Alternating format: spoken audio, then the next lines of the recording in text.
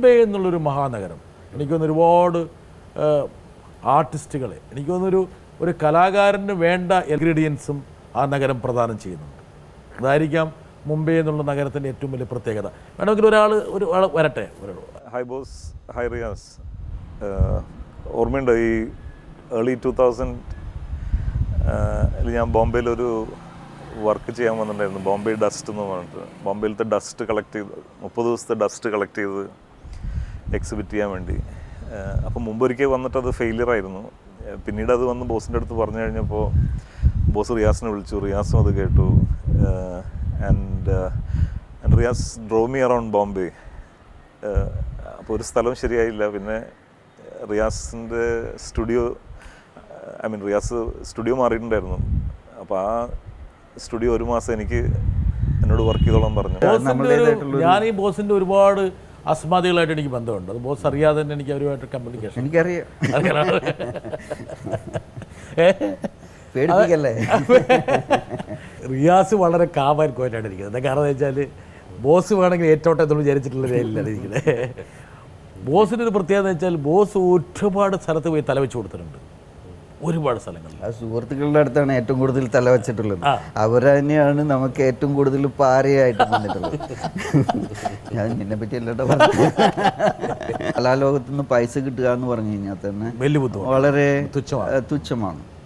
എന്നെ കണ്ടെത്തിയത് ഒരു പക്ഷേ സ്വാമിനാഥൻ ജി എ സ്വാമിനാഥൻ ഒരു ആദ്യമായിട്ടൊരു വർക്ക്ഷോപ്പ് ഭാരത് ഭവനിൽ ഇൻവൈറ്റ് ചെയ്ത സമയത്ത് സ്റ്റുഡൻസിന്റെ ആ സമയത്ത് സ്വാമിനാഥൻ പറഞ്ഞു Shireen Gandhy one of the gallerist കെമോൾ Prescott എന്ന് പറയുന്ന ഗാലറിസ്റ്റ് എന്നോട് പറഞ്ഞു ഈ പയ്യനെ ഒന്ന് നോക്കണമെന്ന് സ്വാമിനാഥൻ പറഞ്ഞു.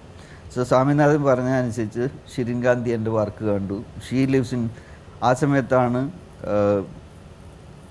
ഭോപ്പാൽ വാസ് വെരി ഇമ്പോർട്ടന്റ് ഒരു കാലത്ത്. കാളിദാസ് സമ്മാൻ ആ സമയത്താണ് നമ്മളുടെ വർക്ക്ഷോപ്പ് നടക്കുന്നത്. കാളിദാസ് സമ്മാൻ ആ വർഷം കിട്ടുന്നത് തയബ് മേത്തയ്ക്കാണ്. അദ്ദേഹത്തിന്റെ കൂടലൊക്കെ കാണുന്നത് ഇരുപത്തിരണ്ട് minute film fantastic film anyway മുംബൈയിൽ വരുമ്പോൾ എന്നെ വന്ന് കാണണം എന്ന് പറഞ്ഞു.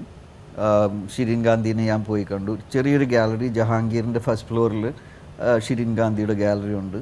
ബിനാലെ അത് എനിക്ക് തോന്നുന്നു മലയാളിയുടെ ഒരു സിനിസസ്തെ അതായത് എല്ലാത്തിനെയും ഒരു പുച്ഛത്തോടെ കാണുന്ന അല്ലെങ്കിൽ ഒരു നെഗറ്റീവായി കാണുന്ന ഒരു സമീപനത്തിനേറ്റ ഏറ്റവും വലിയ പ്രഹരമായിട്ടാണ് ഞാൻ അതിനെ കാണുന്നത്.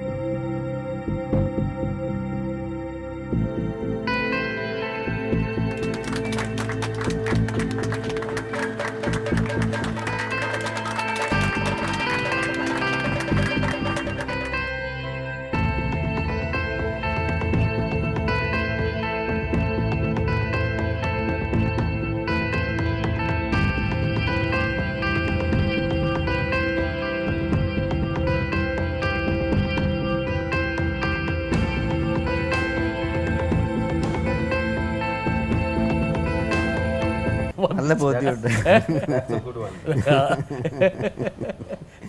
പലപ്പോഴും ആര പറഞ്ഞ പോലെ ഏറ്റവും വേഗതയിൽ ഓടുന്ന ഒരാൾ അയാളുടെ ഓട്ടത്തിന്റെ വേഗത അയാൾക്ക് അറിയുണ്ടാവില്ല.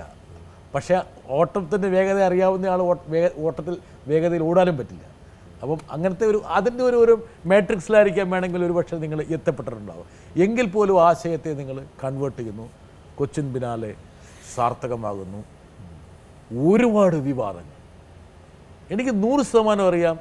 ഇനി ഞാൻ നിങ്ങളോട് നീ അതേക്കുറിച്ച് ചോദിച്ചിട്ടില്ല സംസാരിച്ചിട്ടില്ല എന്ന് വിചാരിച്ചാൽ പോലും ബോസ് റിയാസ് നിങ്ങളുടെ മനസ്സിൽ പലപ്പോഴും വളരെ മനോഹരമായി ജീവിതം നടത്തിക്കൊണ്ടിരുന്ന നമ്മൾ ഇതിൽ വന്ന് പെട്ടല്ലോ ഏ?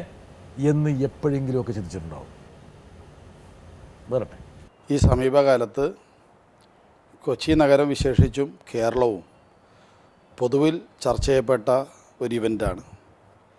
യഥാർത്ഥത്തിൽ കൊച്ചി ബിനാലെ രണ്ടായിരത്തി പന്ത്രണ്ടിൽ നടാട ഇവിടെ ആരംഭിക്കുന്നതിന് മുമ്പായി നമ്മുടെ നാട്ടിൽ ഏത് സംരംഭങ്ങളും തുടങ്ങുമ്പോൾ ഉണ്ടാകുന്നതായിട്ടുള്ള എല്ലാ തിക്ത തിക്താനുഭവങ്ങളും ബിനാലേക്ക് ഉണ്ടായതിന്റെ സംരംഭകരായ റിയാസിനും ബോസിനും ഉണ്ടായത് ഞാൻ ഈ സന്ദർഭത്തിൽ ഓർക്കുകയാണ്. ഒരു ഫസ്റ്റ് ഇമ്പ്രഷൻ ഉണ്ടായിട്ടുണ്ട്.